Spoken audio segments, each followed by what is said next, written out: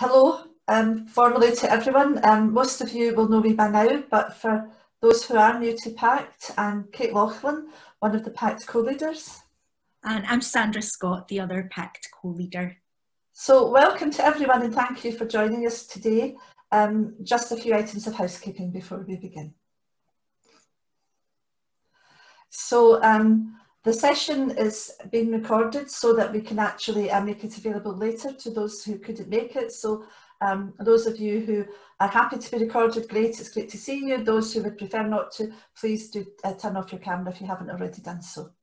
Um, the, we have one breakout session today that would be recorded, so please do feel free to um, speak as frankly as you want within your groups. Um, and can I remind people to please switch their microphones off unless they're speaking so that we can keep the background noise to a minimum. Um, Lee, um, as part of our team, is that your point of contact if you have any problems in terms of logistics or anything like that, please do contact her on chat. She's under EIS Union. Um, and uh, our session today, as usual, will be split into two parts with a five minute comfort break in the middle. So that should be around 2.30. Um, and just one last thing, please. Um, we're having a little activity in the second part um, that would require an A4 sheet. So at the break, if, if you have time to grab an A4 sheet or just something similar, thank you. In our last module, um, we opened by saying that we were setting out our stall clearly and naming poverty as the problem, not those who endure it. For this module, we also want to set the tone right from the beginning with this quote. Thank you, Sandra. So this is a quote from Joseph Wresinski, um, who founded an anti-poverty and human rights charity called ATD Fourth World. And as you can see, it says, it is not poverty which is shameful, it is the existence of poverty which is shameful. We're using this because this reflects the culture change that we want to make in schools. We want to support a culture where no young person is ashamed of poverty, but where the responsibility and therefore any shame involved is put firmly where it belongs with those who create and sustain it. And here um, in the next slide is that quote embedded in principle and action. Here is that quote embedded in principle and action in another community and one where the pressure for people living there to be silent and invisible and it was and is an everyday occurrence. You can see the quote here um, above the door of this Glasgow-based charity. This picture was taken a few years ago, just over a decade ago, decade ago. And you may recognise one of the women in the front. We've included this here to remind us all that the issues we discussed today are not new, and that while we may give examples taken from the struggles in the time of the virus, they are only the visible tip of the poverty iceberg that lurks beneath the surface of our society, and one which, as we know, has been steadily growing for quite some time. All the people in this picture knew that then, and many other community members doing similar things know that now, and we'll see some of them later. But this also serves as a statement of intent, that as we've said before, and we'll say again, that throughout these modules, the role of community and of place in our young people's lives will be given the status and attention it deserves and needs to offer the kind of awareness, understanding and support that they need. Community organisations know how important working with schools is, but they need to be invited over the threshold. This group, for example, worked with both their local primary and secondary schools on an innovative poverty and education project more than a decade ago, including cost-saving recommendations and a programme of direct classroom work with, on poverty awareness with senior school pupils. So, however, in stepping back and intentionally directing our spotlight and uh, let's move on to the module introduction. Thank you. We focus today on recognising that poverty doesn't start in schools, as we know. And so if we are able, we are to be able to really know and understand it, its nature, causes and consequences, we must first start by looking outside schools, at the society we all share and the overarching culture which we are all affected by and may help to perpetuate and recreate or change. We then want to bring that deepened understanding and awareness back into school by looking in the mirror. Let us reflect on what choices we've made in our practices and whether we want to make different choices. Choices within the varying degrees of agency that we all have. So looking again at what narrative do we communicate now and want to communicate in future to our young folk about poverty through both our words and deeds. Finally in this session, bringing both of these together, we start to look at what choices we could make in our individual and joint actions towards our shared goals and to further build our pact community, not just as an end in itself, but as a means to, to the genuinely positive destinations we all want for our children and young people. In doing so, we introduce the delta symbol today, the mathematical symbol for change, as a visual representation of the change we all want to see on poverty in our schools. And you'll see that there in each section heading, and here it's coming up on the aims. So if we bring the aims up, I'll give you a moment just to let you read these over by yourself. Let me also remind you that we recognise that you may have personal outcomes that you're hoping to achieve from this session and um, of, the, the, the programme as a whole as well. And you may want to um, look at these before and after. So I'll just give you one more moment to do this and then we'll move on to say a wee bit more about the session plan from Sandra. Thank you.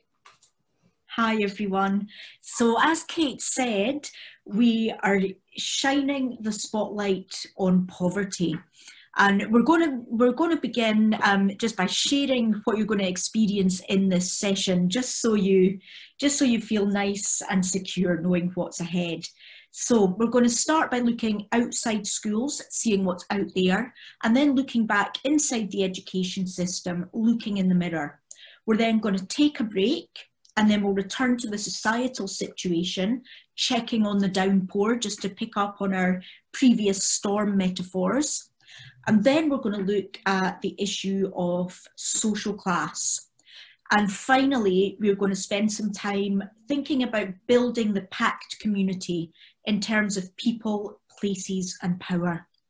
But first of all, we're going to start just with a five minute clip just to set the scene. So you may be aware of the, the report by the UN Special Rapporteur on Extreme Poverty and Human Rights in the UK.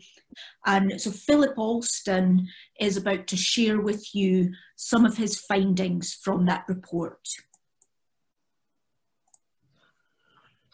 The picture, however, is much more complex than just rattling off statistics. What has surprised me is the extent to which there is close to unanimity in terms of the observations by think tanks, by a lot of media commentators, by independent authorities like the National Audit Office, by a whole range of parliamentary committees and others, that poverty is really a major challenge in the United Kingdom and that not nearly enough is currently being done to address the challenges.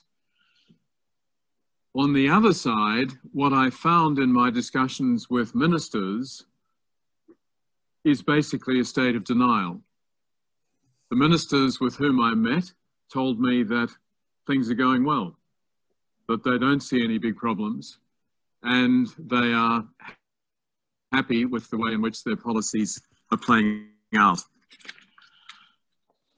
But it's of course not the story that I heard in my travels through Wales, Scotland, Northern Ireland, and in quite a few cities in England. What I saw, food banks, schools, community centres, job centres, libraries, and elsewhere, is a lot of misery. A lot of people who feel that the system is failing them. A lot of people who feel that the system is really there just to punish them. People who feel that despite the fact that they are really down and need a little bit of help that they could always have counted on in yesterday's Britain, they're just not able to get. And so what I've tried to do in my report is to ask why? What's the motivation for the main policies that seem to be problematic in the benefits area? And the answer that most people come up with is, oh, it's austerity. In other words, the implication is that there was no choice. There was a financial crisis. There was a need to make immense budget savings, and benefits was one of the key areas where that could be done. The truth is that, first of all, there haven't been a great many savings from what I can see. A lot of it has involved the transfer over from one set of items to another. A lot of it has been pushed off to the community, to families, to emergency rooms, uh, and to even governmental emergency services rather than in the benefit system itself. I don't see that the motivation has been to create a more compassionate, a more caring benefit system and one that actually produces better life outcomes for people. Instead, the motivation is very clearly, I believe, an ideological one. I don't say that in a necessarily critical way because governments have different ideologies. Governments think of social welfare in different ways. And this government and its predecessor have both been remarkably successful in bringing about a revolution in British welfare policy. They have transformed the nature of the system and particularly the underpinnings of it. The problem that I see is not in terms of the worthy objectives. It is true that employment is a key to getting people out of poverty. It is true that the previous system was confused and confusing. It's true that there are efficiencies that have been found. But what's also happened is that the system epitomized by universal credit, about which I'll talk more in a moment, but not at all limited to that, is in fact driven by the desire to get across a simple set of messages. The state does not have your back any longer. You are on your own. As Margaret Thatcher famously said, there's no such thing as society.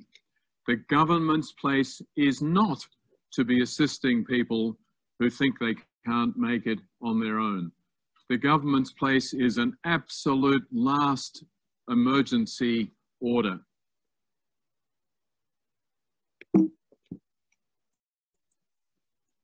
So that's left us in no doubt, really, um, about where we are. You know, the system doesn't have our backs anymore. So we're going to get you thinking about the bigger picture now with a little quiz. So this week quiz is just to activate some prior knowledge, give you a chance to share some of your knowledge via the chat with the other participants, and don't worry, there's no competitive pressure at all. It's just for fun. Um, you can just note down what you think if you prefer not to type it in the chat. It's just for you. But we would like you to share your ideas with the other participants in the chat if at all possible. So this session as a whole is about poverty. But we feel it's really important to start off by looking at wealth. Um, this is, but the quiz focuses on wealth because wealth and poverty are very much two sides of the same coin, as are myths and reality, and we'll come on to that later. As a society, we're always very quick to scrutinise people living in poverty and you, to make assumptions about how they got there. You know, maybe they didn't work hard enough or something. But we seldom see such a rush to scrutinise the wealthy or think about how much or how little they did to earn their wealth. So let's get started. Scotland's richest, how many percent, have more wealth than the bottom, how many percent put together. So answers in the chat there for that one. Um, an, Oxfam report shows um, the growth of global inequality, and Scotland's no exception there. So, globally, 82%, um, sorry, the richest 1% own 82% of the world's wealth. And in Scotland, Scotland's richest 1% have more wealth than the bottom 50% put together. So, you, this, um, you know, this is probably, according to the Oxfam report, due to excessive corporate influence on policy making, the erosion of workers' rights, and a drive to minimise costs in, in order to maximise returns. So that's um, that's contributing to that um, huge wealth gap there. So next one, how much total wealth for the top three wealthiest families in Scotland? And you might want to take a wild guess about who they are and what they do. So how much total wealth there? Well, I can tell you that the total wealth for the top three families, top three wealthiest families, is 4.986 billion. So let's see who they are.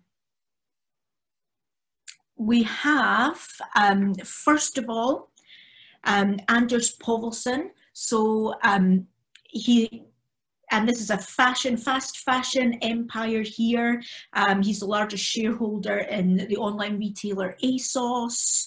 Um, also bestseller, Jack and Jones and so on. So, you know, wondering about the ethics of fast fashion there. Next up, we have Glenn Gordon and family. Um, if you're fond of whiskey or gin, then you may well be um, contributing to their wealth there. And finally, we have Kieran and John Shaw, who have made their money in pharmaceuticals. So just, that's just giving you a, a quick snapshot of the wealth in Scotland. So thinking about our current circumstances, who's become wealthier during the pandemic? So just take a moment and take a guess on that one. Maybe you want to say specific people, maybe you want to say specific kinds of people. So the irony is not lost on us with this one. Eric Yuan, the founder of and CEO of Zoom, um, he's made over 12 billion since March. Um, when we were do, putting this together, we had to keep going back and checking the figures because it seemed actually ridiculous. Um, Jeff Bezos, Amazon, um, he's been the world's richest person since 2017. He's got even richer during the pandemic. There was one day in May where he um, made an additional 10 billion. The final face might be might not be so familiar. This is Rupert Soames. He's CEO of the outsourcing company Serco. So um, Serco, amongst other things, run the um, COVID-19 test and trace and have also made an obscene amount of money from, from running immigration detention centres. So let's look at the other side of the coin then. You know, we often hear these stories about how much, you know, how much the poor are costing the country and so on. Um, never mind what this lot are doing, their questionable tax affairs.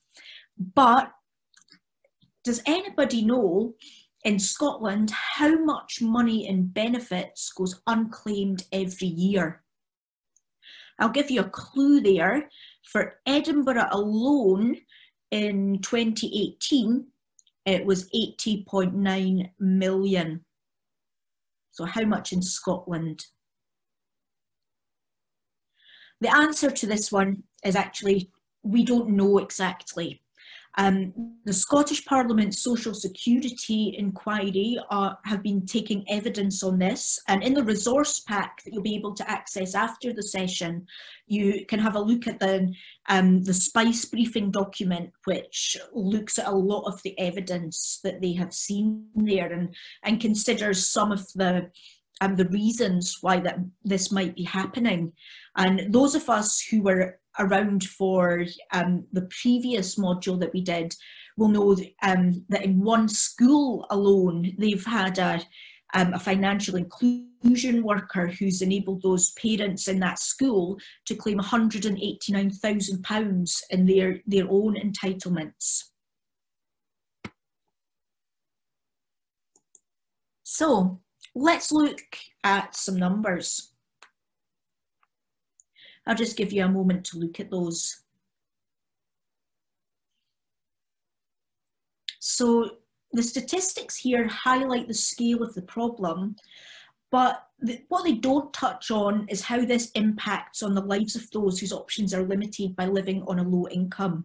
So I would point you towards the, the research by the Poverty Truth community that we'll be passing on to you in the resource pack there. Um, to look at some of those issues. And I mean, the figures are really, really quite stark there. And in the absence of significant policy change, this figure is likely to increase in the coming years, with Scottish Government forecasts indicating that it could reach 38% by 2030 to 31. And we know that some groups of people have a higher risk of poverty than others. For example, in 2014 to 2019, people from non-white minority ethnic groups were more likely to be in relative poverty after housing costs compared to those from the white British and white other groups. The poverty rate was 39% for Asian or British Asian ethnic groups, 38% for mixed black, black British and other ethnic groups. And the poverty rate amongst the white other group was 25%, and that of the white British group was 18%. So that certainly hints at the, the structural racism that we all know exists in our society. Poverty is also a gendered issue with 39% of single women with children living in poverty. Disability prevents, um, presents similar barriers. 29% of those who live with a disabled household member live in poverty. So after those figures, what are the day-to-day effects of poverty on families? As we know, children tend to see everything through the lens of their relationships and particularly the experience of their parents and others in their own household. And um, all of these statistics, by the way, are going to be made available to you in the, the Scottish Government figures that we're including in the resource pack. So um, the Scottish Government res research shows that 51% of parents report that they don't have a small amount of money to spend each week on themselves. 10% of parents can't afford to have their children's friends round for tea or a snack once a fortnight. And we also know that children from higher income families significantly outperform those from low income households at ages three and five. And you can read into this a wee bit more in the, the Growing Up in Scotland survey and the Joseph Rowntree Foundation research that we're making available to you. So let's take a look at the long-term consequences of poverty.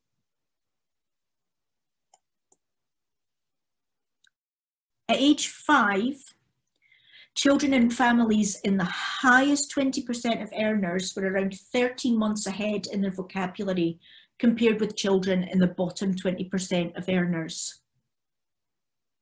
So, you know, that's, that's important, that's significant. Let's look even longer term.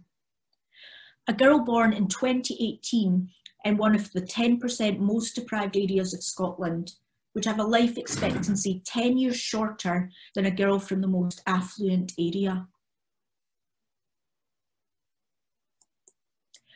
A boy born in 2018 in one of the 10% most deprived areas of Scotland would, would have a life expectancy 13 years shorter than a boy from the more from the most affluent area.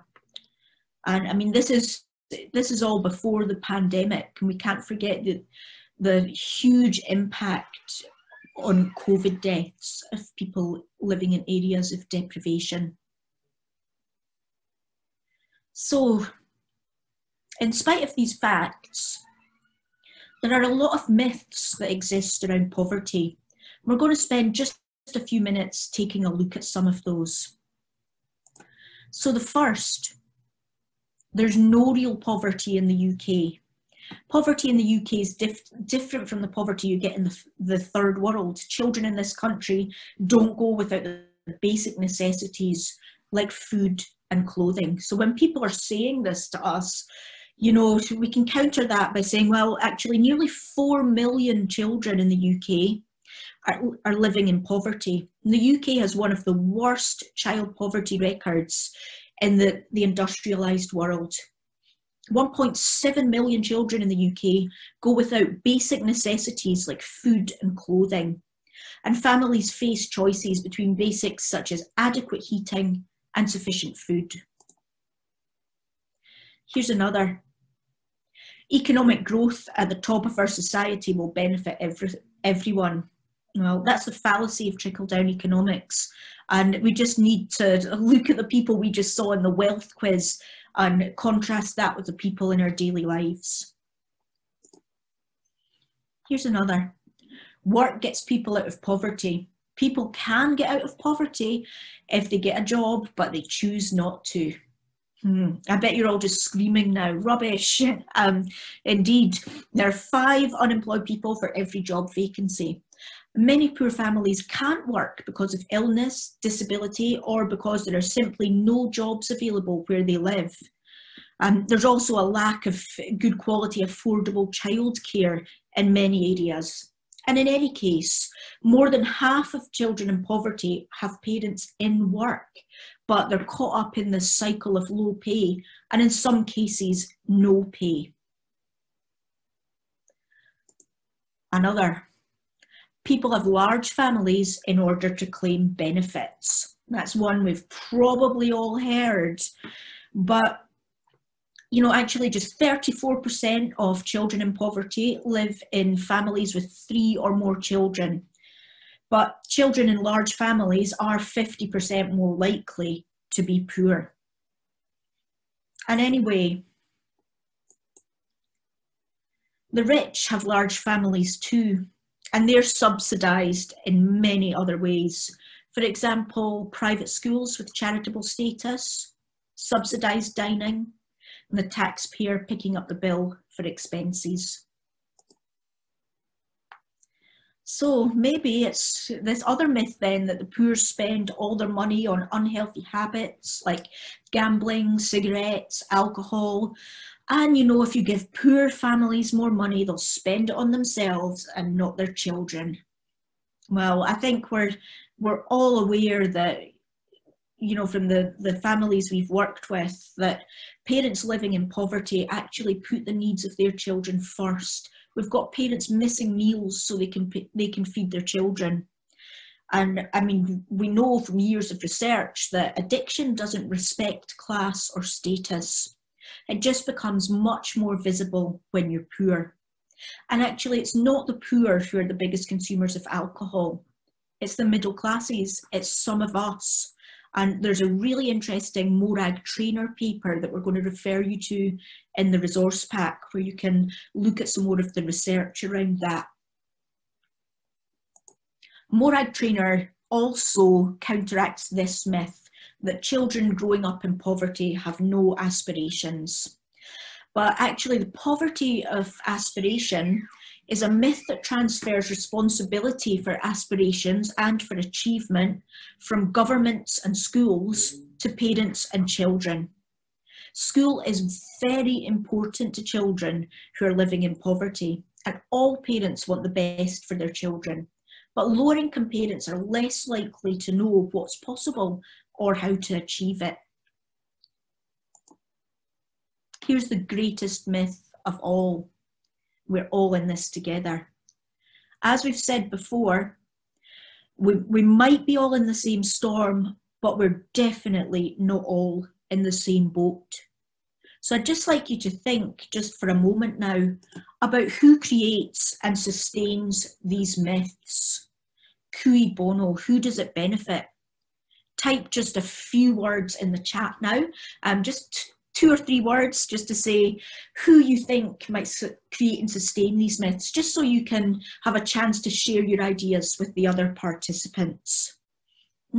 I'm left thinking of what can we do about this?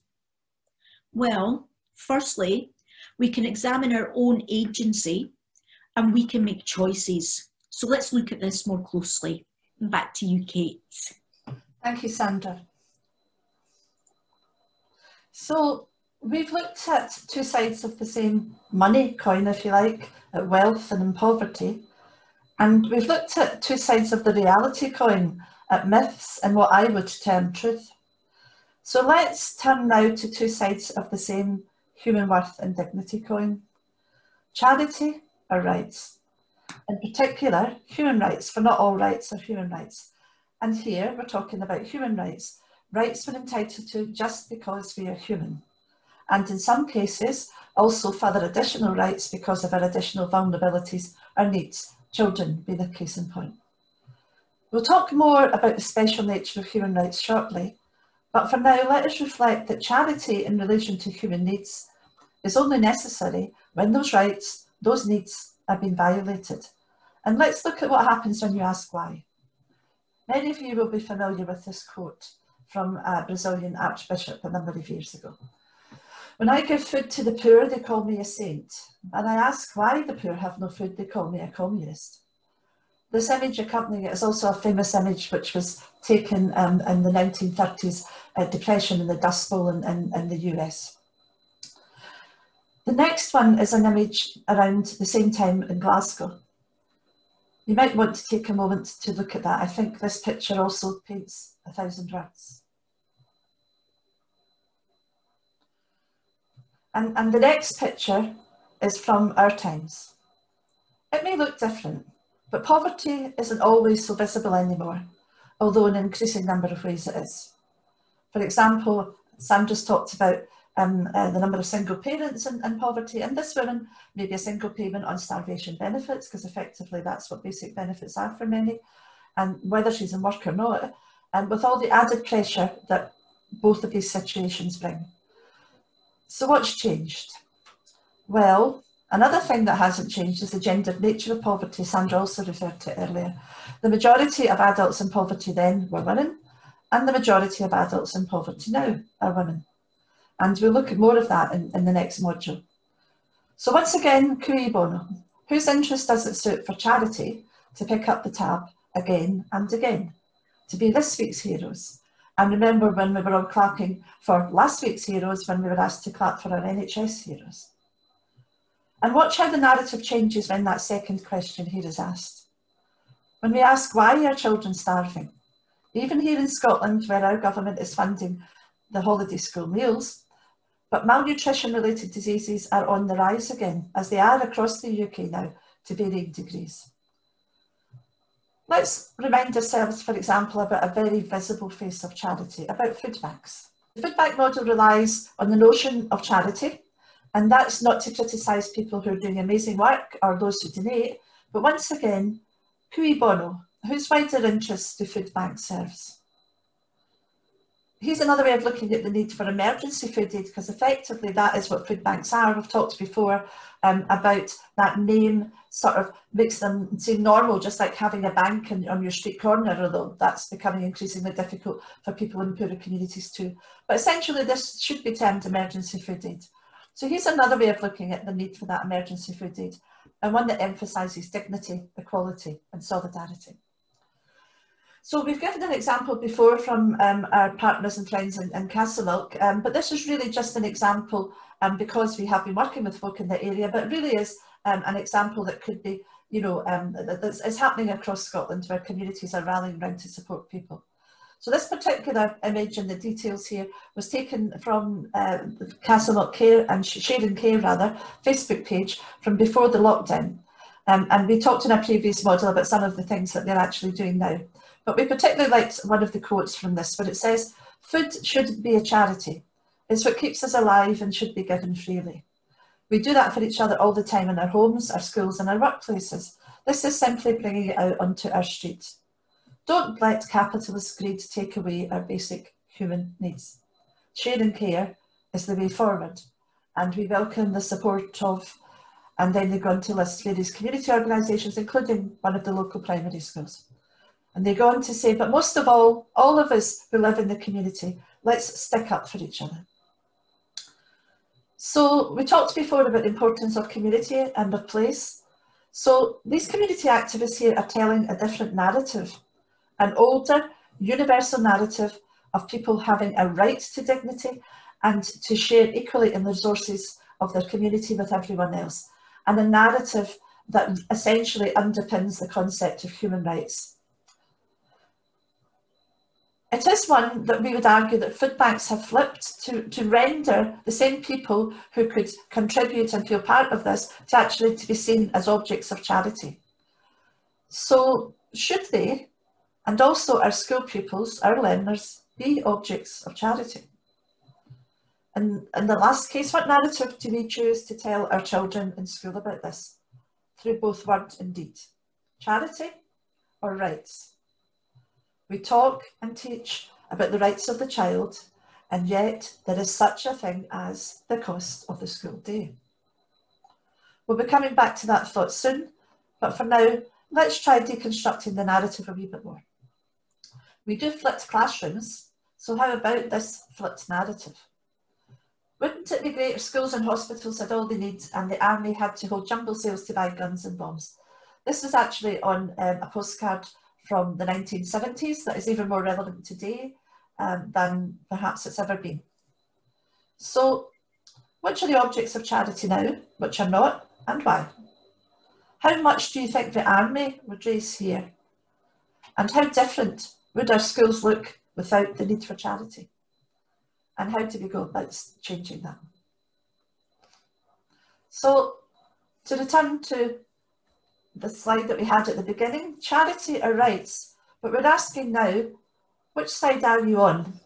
Well, thanks to Florence Reece, who wrote the famous song that this quote is based on, and to Woody Guthrie, who made it famous by, by singing it. Which side are you on? And, and yes, it is a side. There are situations where rights are appropriate, and those where charity can step in. But which situation should a school be? Let's look at that more now. Sandra will show you the perspective of one school we've been working with. Um, and in that school, as in all schools, it's a process, a journey, and everyone will be at different stages. So over to you, Sandra, for looking in the mirror. Thank you, Kate. So, um, as you know, if you've seen us before, we, we've been working on quite a long-term basis with a, a Glasgow school, Bellahouston Academy, who have been doing a lot of soul searching really and looking at their their approaches to the cost of the school day. So I, I want to just share a, a four minute or so clip here where um, we see some of their ideas about that.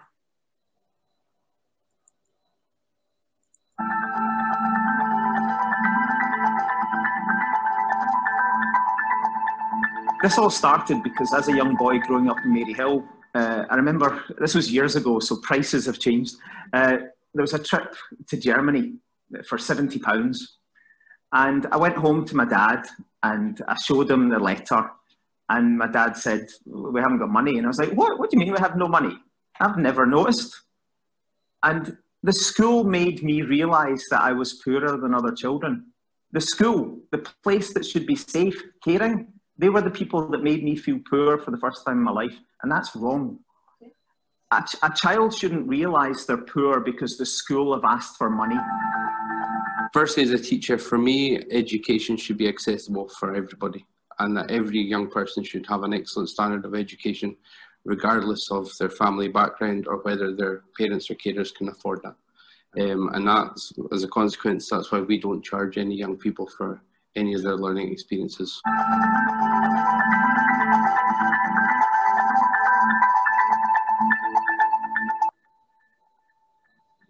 Because poverty is a hard word, um, and, and in our culture, quite often it's stigmatised. Um, and so I just wondered if you thought much about that. About some schools, you have to pay quite a bit for the uniform. Like, okay, I would say we're fortunate we have something called Blazing Squad in this school, where if your blazer's too small or if it's too long, big, instead of having to buy another one, you could just swap it. But in some schools, you have to pay for it, and maybe that's too much for a few individuals. Um, and also, there's like, um, I know a school where you would have to pay for your own jotters. You don't get them provided from the school. Um, at that point, by the end of the year, you can think there's many from each individual subject. So at the end of the day, you will be paying quite a bit. I think this is a total blind spot for many teachers and for many schools. The idea of charging children shouldn't even exist. We should not be charging children for anything. Schools should be free at the point of delivery. Full stop. He's extremely proud of the fact that we don't charge for universities. We see the government talking about how proud they are of this policy, but yet in some of the poorest areas of Scotland, children and parents are being asked to pay for things at school. That's ridiculous. I think any policy creation and the work done in order to create a coherent document allows you to question things that have been going on for a long time. And I think that's one of the problems in Scotland, in that if we're really wanting to change things, we have to look at everything. We have to say, why are we doing this? What's the point of that? And we haven't really done that in Scotland. We've kind of thought, oh, we'll change the curriculum and everything will be better. I think there's lots of areas within the school, uh, the work we do in the school, that we need to question now. I, I, I think that every kid that comes to the school is an individual and they should be treated with respect. And part of the way we can respect them is make them all feel as equal as possible. And I think that can only be if we think about their experience at this place. And we shouldn't make the experience different just because of the money that comes home. For every kid in Scotland, they should be able to access school for free. You know, if every kid in Scotland is going to have the opportunity to be successful in life, they need education. And that shouldn't be hindered by whether they can afford it or not the whole thing about the cost of the school day to me shouldn't even exist. There shouldn't be a cost to the school day. There shouldn't we shouldn't be having this conversation. There shouldn't be a cost to what families have to pay for their child's education. But yet children in poor areas of the country are being asked to get from the parents' wages to pay for things. It's ridiculous. We need to open our eyes we need to deal with this properly. We should consign charges to the bin.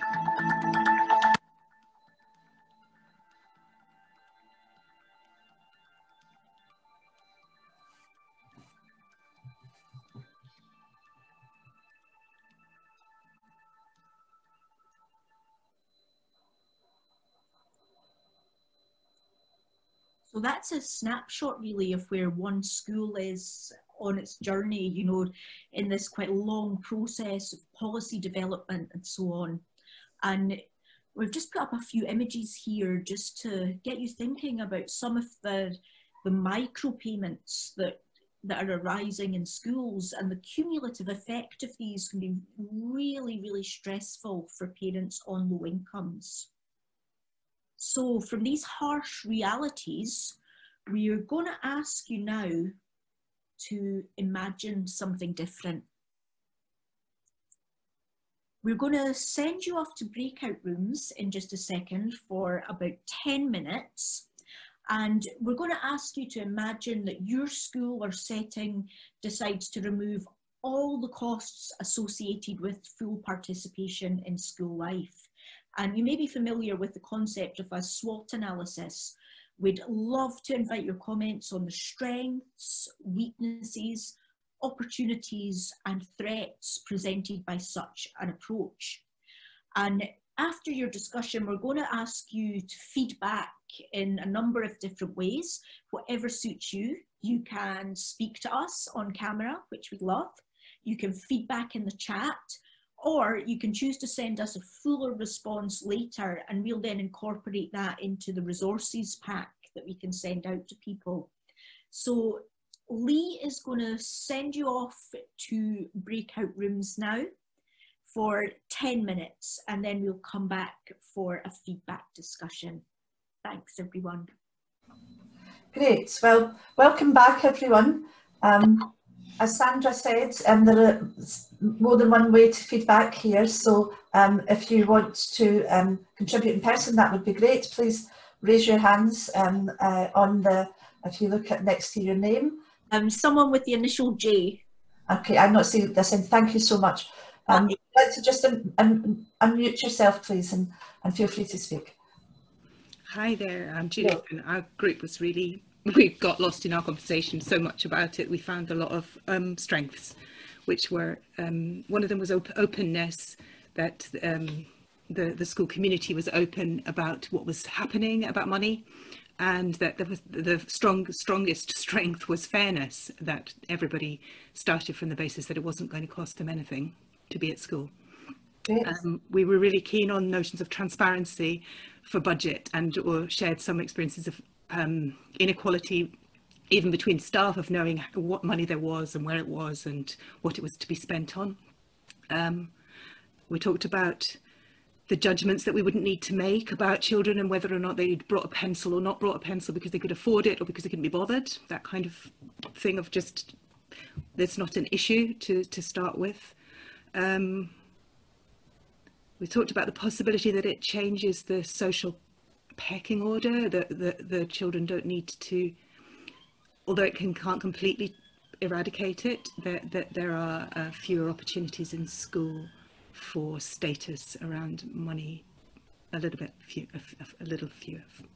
Um, and we also talked about the potential for young people to experience to have a political education, if they experience within school something that's more fair and equal, that then they wouldn't be, um, it wasn't that they're, then they would still be going home to an unequal society, but that they would have had an experience of how to make that work and the benefits of it for all of them, not, um, which is different from the charity version of it.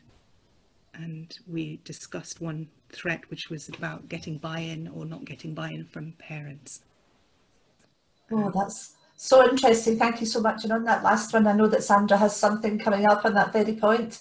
So thank you so much. That's those really interesting contributions. I can see Nikat's got her hand up. Hello, Nikat. I well, of course, I'm gonna get get my hand up. Uh, I think in in our group we covered some of the points that Judith has just said. But one other aspect um, we talked about was, you know, like meeting the basic needs of the children. In our schools, the focus is so much on attainment that we sometimes forget that to get to that, that point, there are basic needs that need to be met. And if we have no cost attached and we take away the cost, then all of these needs could be, the money could be spent to make meet those needs so the children can then achieve and attain and we talked about Maslow's uh, hierarchy of needs pyramid to say if we're trying to put money at a higher point in that pyramid without actually taking care of the, the basics at the base of the pyramid, that's not going to stick, it's not going to be effective, it's just going to fall down. So it's just a little bit short-sightedness of why we're putting money without taking the whole picture in, in place and, and making uh, actually valuing where the money is going, even if we're thinking attainment in the long term, that kind of like um, discussion. Because that's, that's, that's so interesting. These are really two great contributions. Thank you both so much. And, and we'll make sure that obviously these views are, are shared both in the recording and um, in uh, the resources that we, we send out. Um, I can feedback from ours if...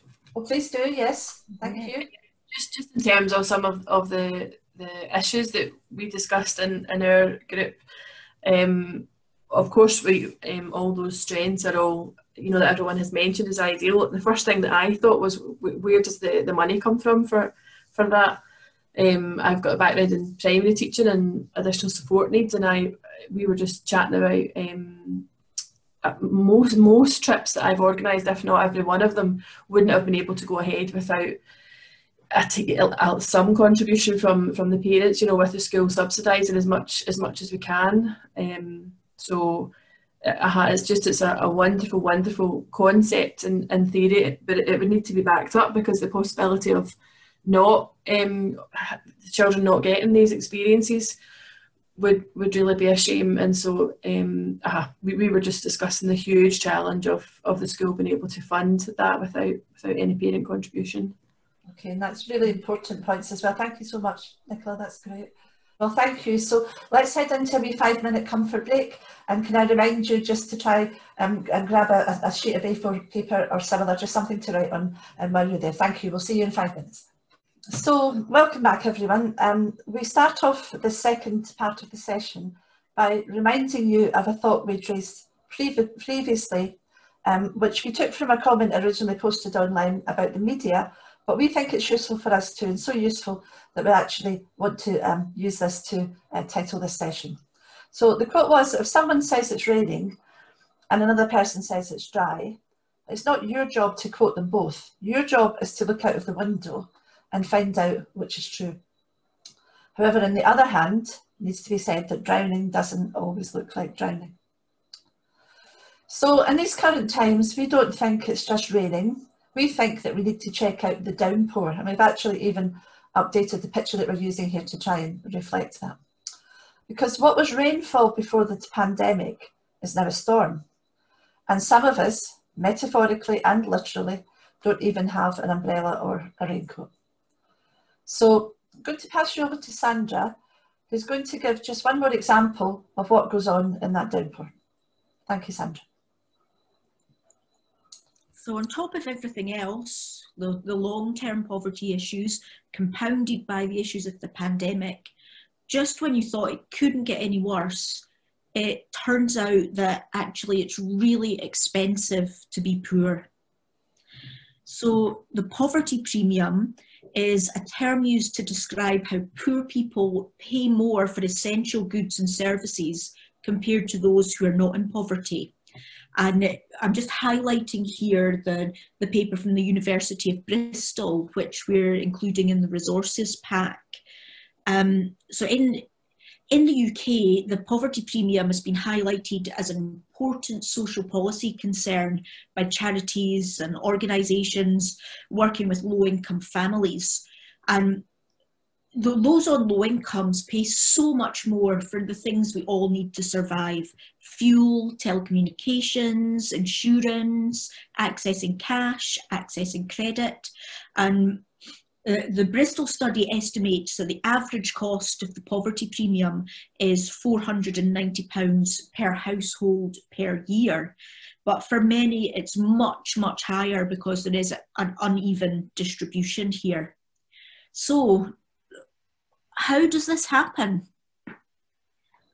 I, just a few things here from the paper just to, to draw your attention to it.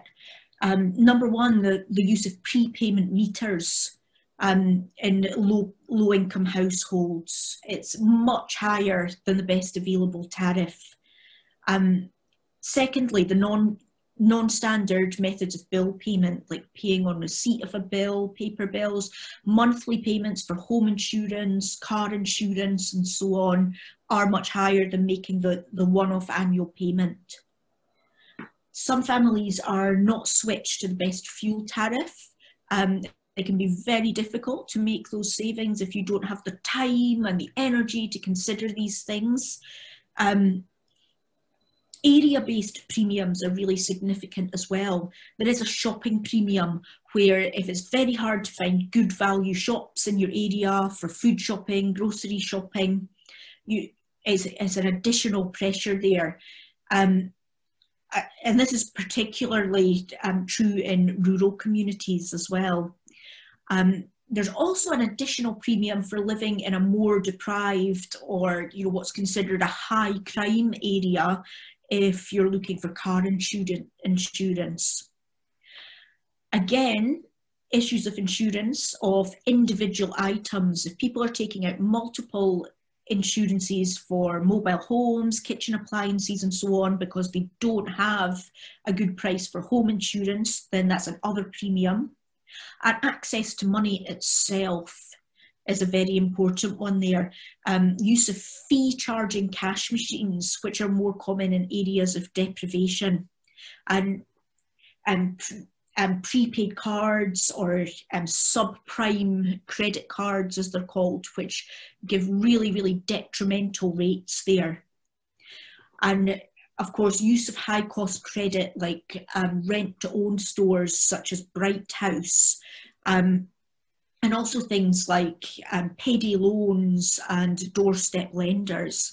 And I mean, this is all, as with so many poverty issues, this is, these are all ideological choices that companies have made to increase their wealth, making money from the poor.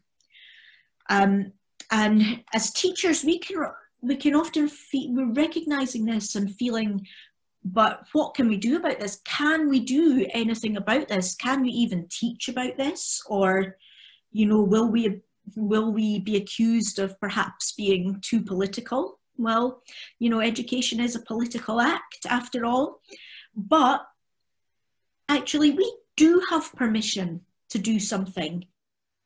And to address these social justice issues is really enshrined in our standards.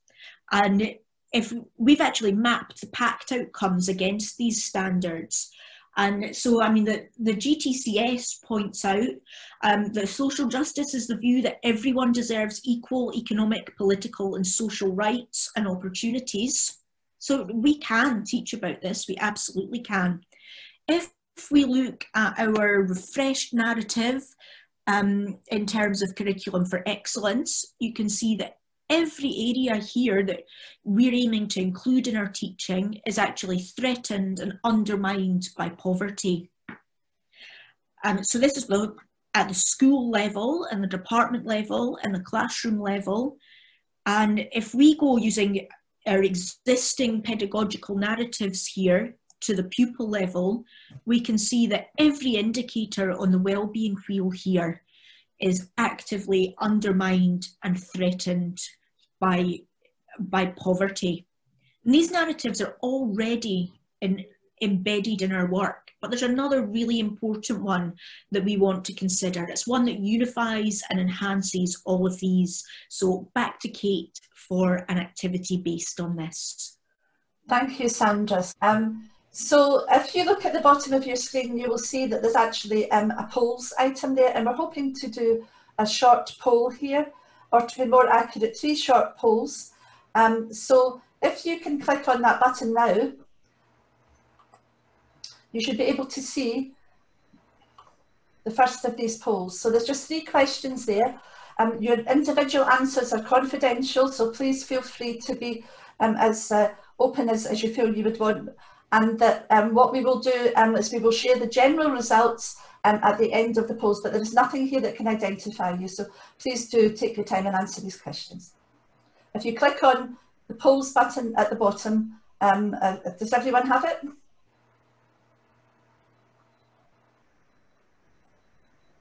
Um, I'm seeing one or two people can't see it. I'm so sorry if, if that's the case, if it's, if it's not up, I'm hoping it's come up now. If there is anyone, um, because of the tech that you're using, that it hasn't come up, please do send us a separate message and we will send it to you um, after the session.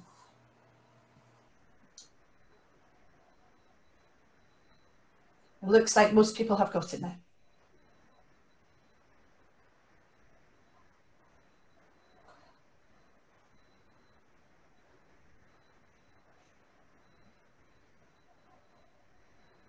You don't need to, it's just really your first thoughts here. You don't need to give this a lot of thought. It's very much a snapshot um, that, that we're hoping to take for the moment. I can see that almost all of you have voted um, and I don't see any more coming in. So perhaps we will end that one, please. Thanks, Lee, and move on to the next one. Thank you so much. Again, I can see that a similar number have voted. So if we could close that poll, please, and then um, when you're ready, Lee, let's share the results from poll one.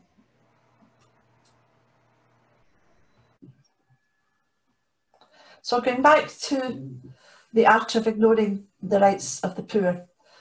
Um, this uh, quote originally was um, a, the title of a talk given by uh, Ruth Lister, um, who's well known in the, the poverty field, um, at uh, a conference I went to last year, and I was quite struck by it, so I hope she doesn't mind me borrowing it. But she talked about the art of ignoring the rights of the poor. Sorry, the art of, of ignoring the poor, rather. I'm talking about the art of ignoring the human rights of the poor. Um, I spent many years as, as an academic um, anti-poverty and human rights researcher after moving on from my um, uh, practitioner and community activist roles. Um, and I would say that it is actually an art to ignoring the rights of the poor. That if you actually examine not only the way that human rights are presented in, in the literature, but also in, in academia and in many research papers, that, that you can't, inevitably I would argue that many people would come to the same conclusion that I came to as a researcher. But in some cases, you can only say that, that it does seem to be an, an act of camouflage at times, um, sometimes accidentally the language is confusing, people use different conceptual um, and philosophical theories and frames of reference, but sometimes it seems very clear to me at least that um, there is a deliberately politically based perhaps or ideologically based camouflage going on. So, um, and a lot of people have even written papers about how confusing it is. So for those of you it's confusing, as I said, you're not alone. So what this confusion and neglect of human rights results in in terms of uh, for us as educators is that the whole body of work in human rights education, and there is a whole body of work, gets lost in the fog. Those who would take it forward don't know about it, and those who want to and, and who don't know, know about it don't know where to start to take it forward. So we will be signposting you to some resources and, and the resource pack that you'll get it, it out um, uh, shortly after the session. And we're still working on that, but we'll get it out to you as soon as possible. And there are particularly some uh, Scottish-based resources that you will be, I think you'll be very interested in. But let's start with what we do know just now. Um, and first, going back to the importance of understanding the, the, the, the narrative that's around human rights in which um, our educational um, aspirations and the Convention of the Rights of the Child is based. So let's, let's have a look and, and start with this. So this, a major theme that's surfaced again and again in our work so far has been the importance of coherence and buy-in from everyone if a whole school offer is to have any real meaning. There needs to be a shared narrative about where we've been, where we're going and how we may get there. So this picture here is Eleanor Roosevelt holding um, the very early print off of the Universal Declaration of Human Rights, which you're all familiar with. So Eleanor knew this and as the prime mover behind the Universal Declaration of Human Rights, she knew the importance of a shared narrative. And this narrative here in that declaration relies on a powerful moral imperative of stating shared values and aspirations, much like our educational narratives. She said, um, and let's have a look at a famous quote from her, where after all do universal human rights begin? In small places close to home, so close and so small that they cannot be seen in any maps of the world. Yet they are the world of the individual person, the neighbourhood they live in, the school or college they attend, the factory, farm or office where they work. Such are the places where every man, woman and child seeks equal justice, equal opportunity, equal dignity without discrimination. Unless these rights have meaning there, they have little meaning anywhere. Without concerted citizen action to uphold them close to home, we shall look in vain for progress in the larger world. So where after all do universal human rights begin? In small places close to home, in the school or college they attend. So picking up on some of the earlier themes and discussion points, what human rights narratives do we have in our schools and colleges? So essentially, as we know in the United Nations Convention on the Rights of the Child and, and rights respecting schools and um, other um, manifestations of, of learning and, and teaching about these rights. But how much do we understand where that comes from in terms of its human rights context?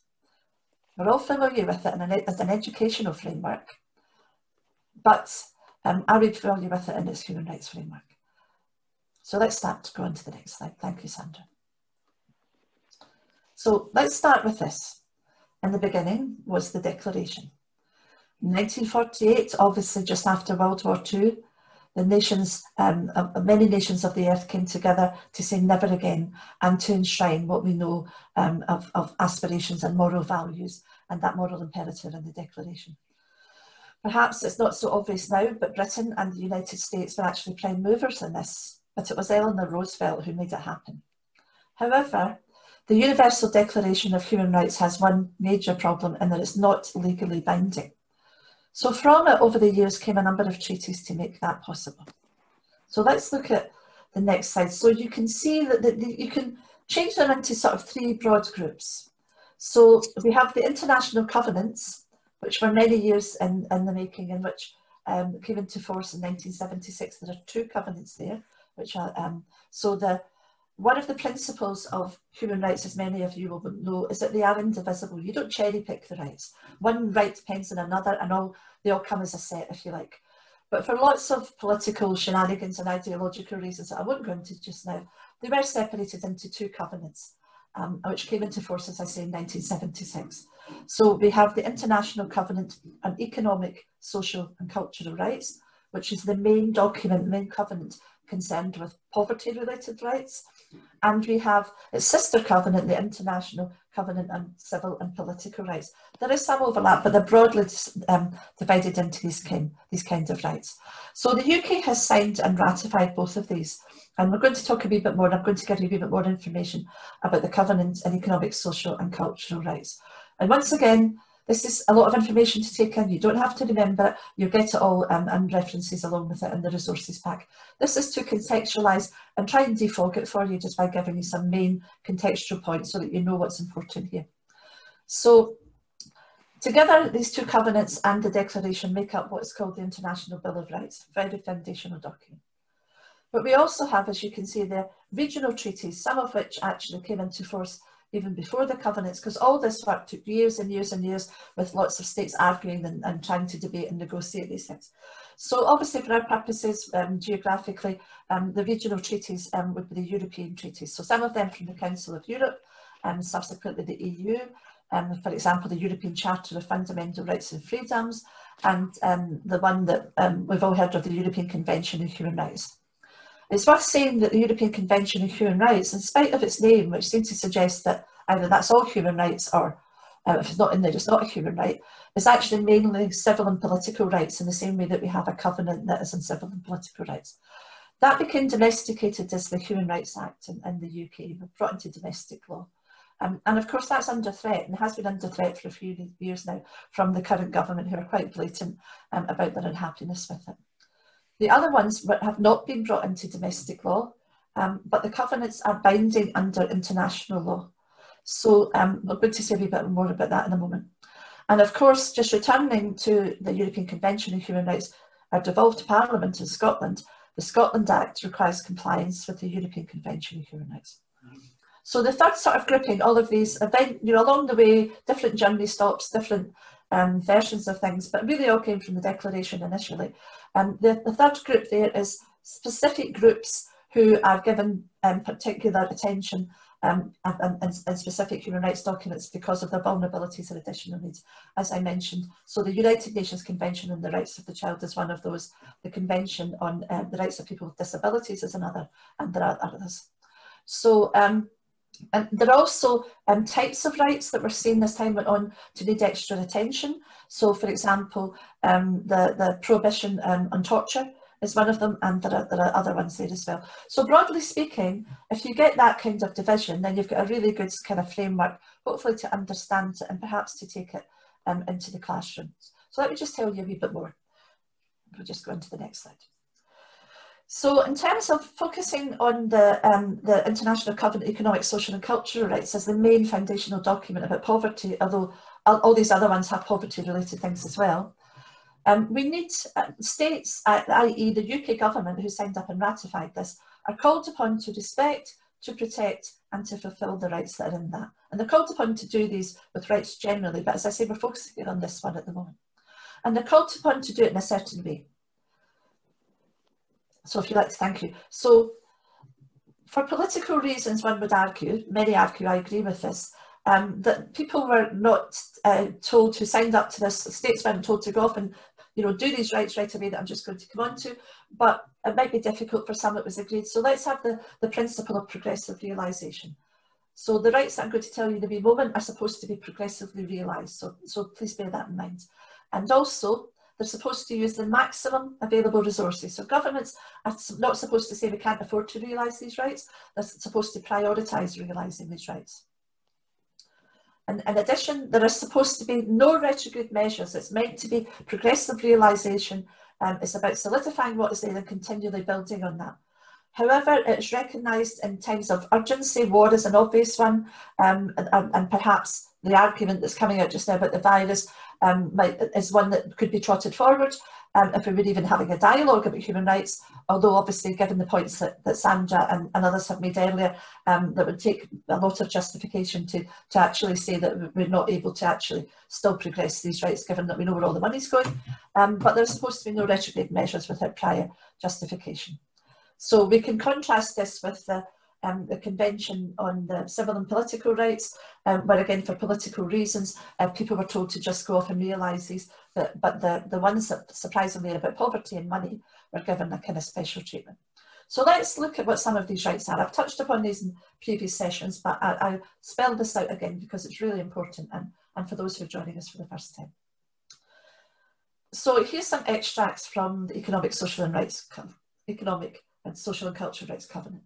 So everyone has the right to an adequate standard of living and the continuous improvement of living conditions, to the enjoyment of the highest attainable standard of physical and mental health, to work and to free choice of employment, to social security,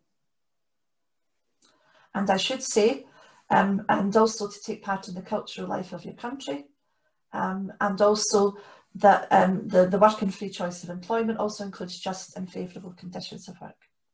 So I'm sure you don't need me to draw out the contrast between these and the reality we see every day. I've referred already to some of the reasons why these um, are, are not acted upon and haven't been brought into domestic law, but also um, public pressure has, uh, that, that, I must say it's starting to increase, but overall public pressure, because people are not aware of it, public pressure has not been able to be brought to bear to demand that these are actually brought into domestic law. So um, the Scottish Government has um, brought in some of these into, into domestic law and is investigating, actively investigating ways to bring more of these into domestic law. And an example of that is the new social security system that is explicitly based upon um, a human rights model and recognises that social security is a human right.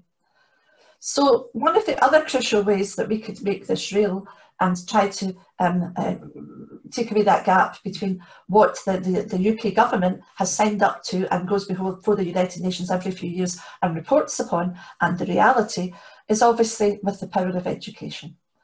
So let's go back then to human rights education. A great deal has been written on this, as I said before, with programmes underway in many countries in different ways and with different emphasis. But let's start with two foundational documents.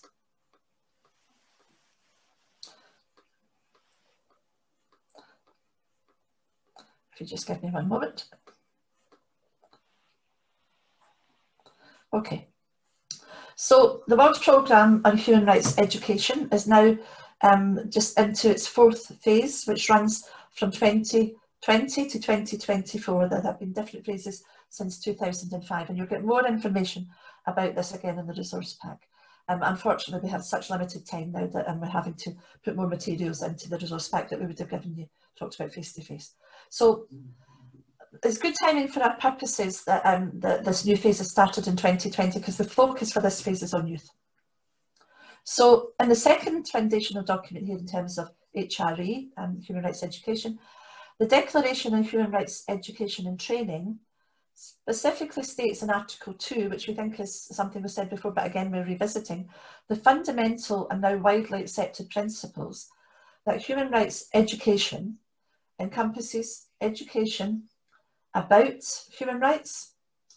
So that's awareness and details of internationally recognised human rights, as well as um, government's responsibilities to respect, protect and fulfil them. So giving the wider public, but for, for specifically young people, facts as well as the understanding that they need to, to be able to um, uh, fully um, um, contextualise them and, and to make use of those. If you don't know your human rights, you can't claim them. And as we said over and over again, the Convention on the Rights of the Child is limited in that children don't live in a vacuum, so they're living in families and communities where their adult human rights are, are being violated, and equally, those children don't stay children until they become adults. And, and if they leave the, their human rights at the school door, then we have to ask ourselves, um, you know, how much worth has that been? It certainly has some worth, but um, they need to know about what they're entitled to as adults, as human beings, and, and not only as children, and that's part of a human rights-based approach. So, but so we teach through human rights. Um, we're actually doing this pretty well in terms of um, the Convention on the Rights of the Child, in terms of how we model the values that, that we're actually communicating. Um, but we teach, why, why is it worth doing this though? We teach for human rights. So Purpose, purposeful teaching, this is taken from the Declaration, purposeful teaching and education to enable people of all ages to know their human rights and to be able to de demand and claim them. And this is one of the ways, as Sandra's talked about, that we actually can further put our, our teaching standards into practice and our commitment to social justice and to um, and supporting our young people to take a full part in, in, in society um, during and when they leave school. So let's have a wee look at the next slide.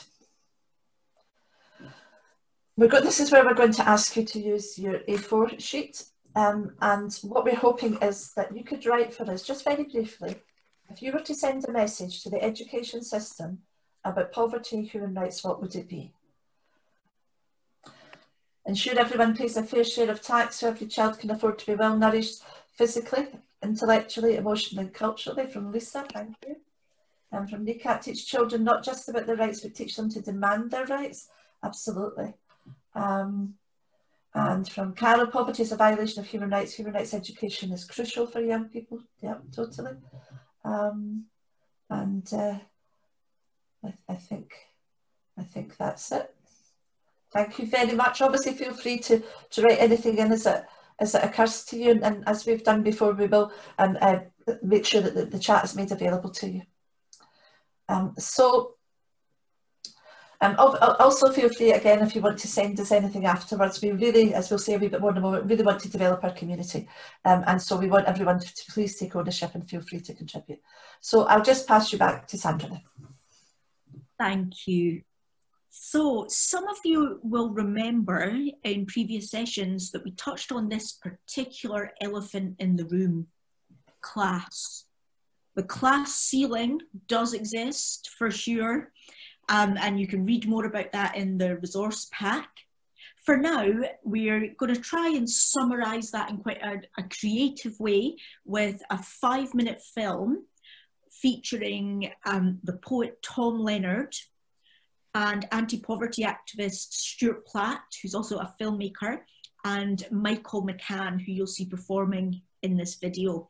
I do have to give a little language warning for the poem, so if you're quite sensitive to swearing, there is a wee swear towards the end, so you might want to cover your ears.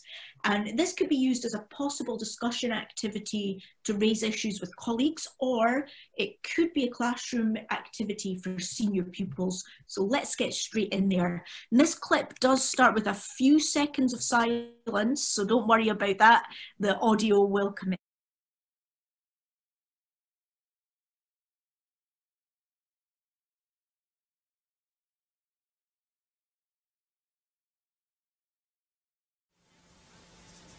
I don't ever claim to represent the excluded in any way. I mean, I, you know, but what is often drives me from anger into writing, uh, or sometimes from humour and, and then into writing, is a reaction against what is portrayed as the inclusive and isn't inclusive.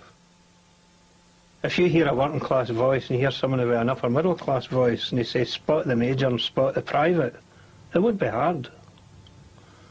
If you get into a, if you get into a, a courtroom and you hear somebody speaking in a broad city voice and you hear somebody speaking with an upper middle class voice, who's the judge and who's the accused?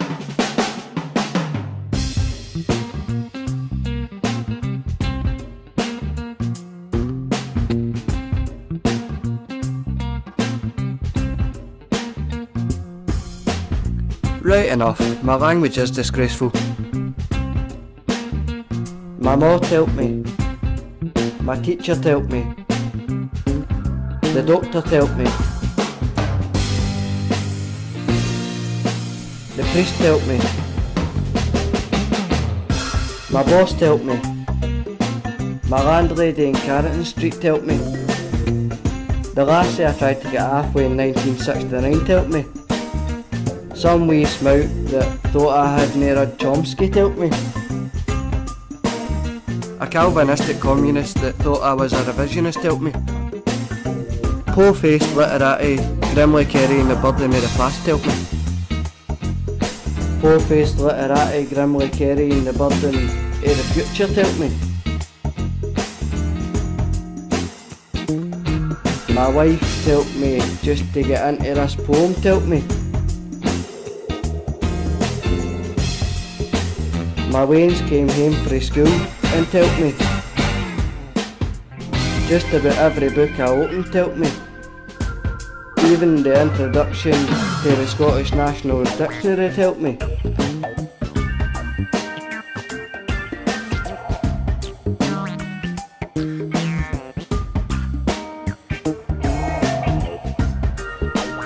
Oh well, all living language is sacred. Fuck a lot of them.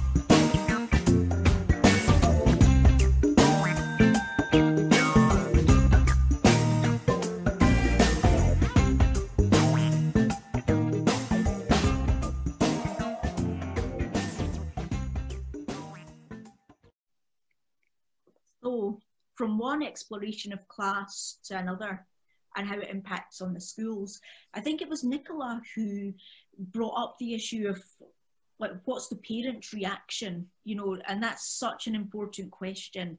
Do the parents buy into these zero cost cultures? Or, as in one school that we know, do we get the question, what happened to the ski trip? So, in this particular primary school, uh, fantastic new head teacher came in who was really, really aware of the, the inequalities in, in the school and in this area where there's, there is hidden poverty. And um, she really wanted to change the culture of the school to be more inclusive. And she faced a massive middle class backlash, which um, started off from the parent council. Because, you know, as, as we might have noticed, um, middle class parents, and particularly, well, almost all white middle class parents, dominate parent councils, and they inevitably want to maintain the status quo that benefits them. And, and there's extensive research about how and why this happens. And just to have a really brief look, because we are approaching the end of our time today, but don't worry, we're going to do a lot more work on class in the next module. This just gives you a flavour. Um, we had to um, take the brave step of venturing into the Mumsnet comments. And if you don't know Mumsnet, then Oh, um, we could. It's been a really good insight for us into the thinking of the parents who maybe don't speak like me or don't, um, you know, don't really speak to me in the playground. I've anonymised them all here. And so these parents are discussing a £1,500 primary school ski trip. So you know, some of them are you know, saying like, you know, why do they even do this. I'll just let you read these over for a second. But you know, they're pointing out it is prohibitively expensive for many people. But you know, um, it just shows how the other half live really for many parents. Um, you know, it's trips like this which is why I've started a savings account for my dear daughter from birth. God, so many trips. Don't they ever do any work? Dear daughter won sports matches, take her out of school enough. I think I'll offer her £500 to stay at home. Can you imagine? Um,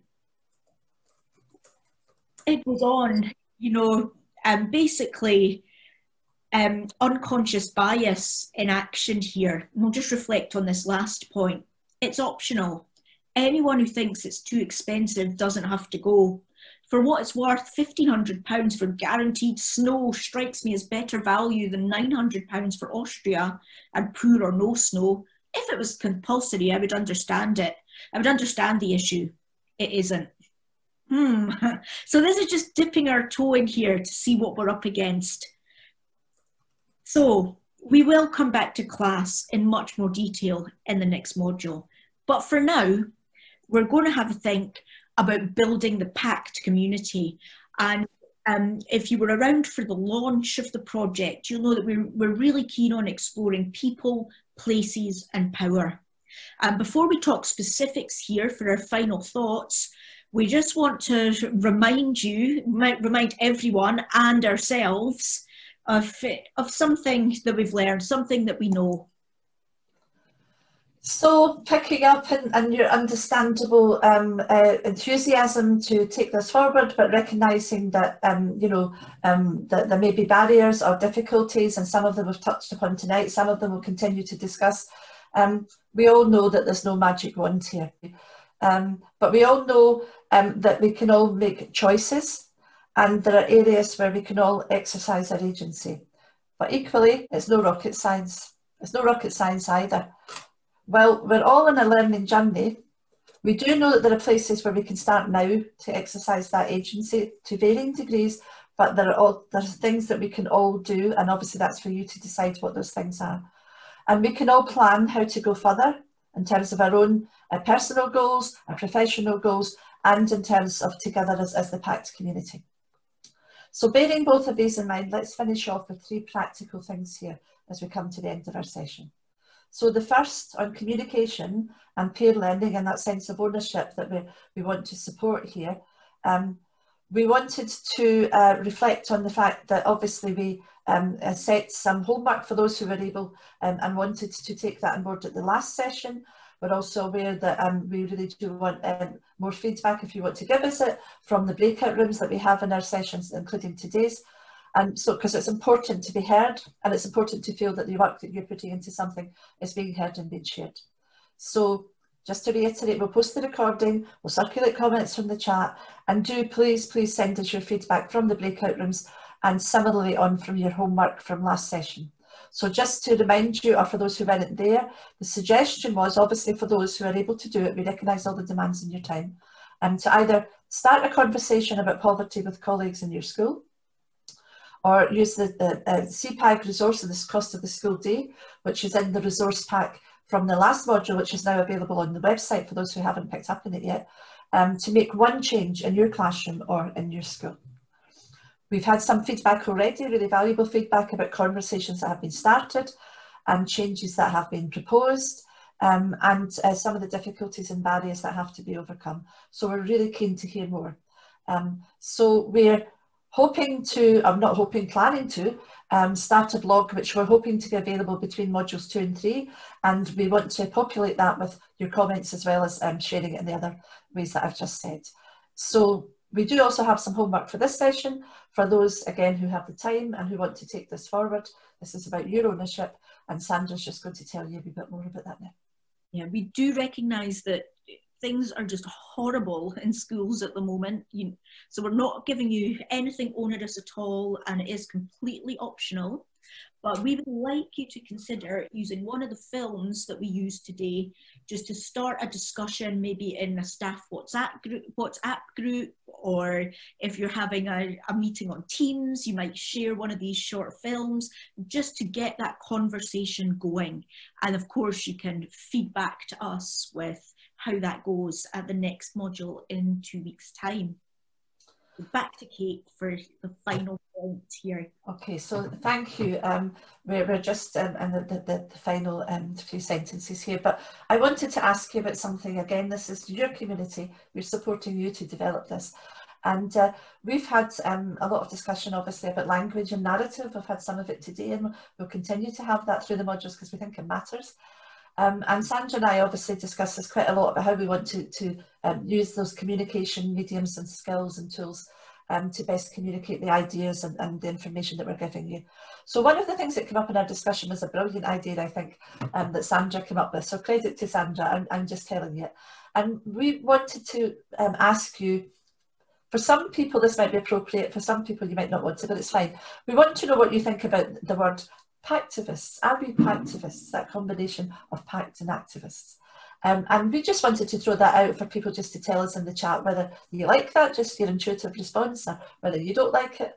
Um, and uh, it would be nice to hear. So do you want to um, put stuff in the chat if you're happy to do that? If you don't want to, that's fine. Okay, great. So works for Lisa, brilliant. Does anyone else want to share what they think? Yeah, good. Carol likes it, excellent. It's okay if you don't like it. Yep, other thumbs up there. Thank you, Sharon. Maybe I'll stop reading out names so that can, if people are, don't like it, I don't want them to feel they're uh, going to read out their name saying they don't like it. You can dislike it if you want. It's absolutely up to you. Okay, so sounds good. I like it. Yes, I like it. Brilliant.